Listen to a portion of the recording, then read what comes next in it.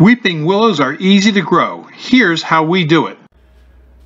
Today we had a high windstorm and so I went outside in the yard under our weeping willow and picked up a bunch of branches.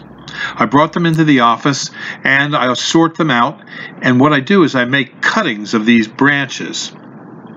When I've gotten a bunch of the cuttings together, I'll take them over and I'll put them in a pot that has water in it.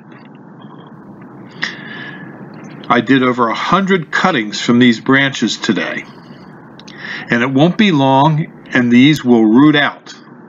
And as the roots start to shoot out and they start to develop, I take them and I put them in a pot with potting soil and grow them out some more. And pretty soon they will be ready to put in a larger pot, grow up a little bit, and then put them out into the field.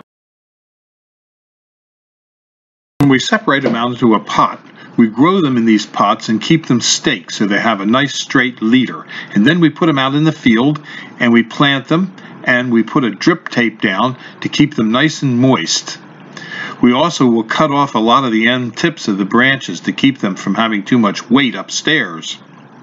And in just a short few years, we will be able to sell these to unsuspecting customers that want a weeping willow and don't know how to grow them themselves.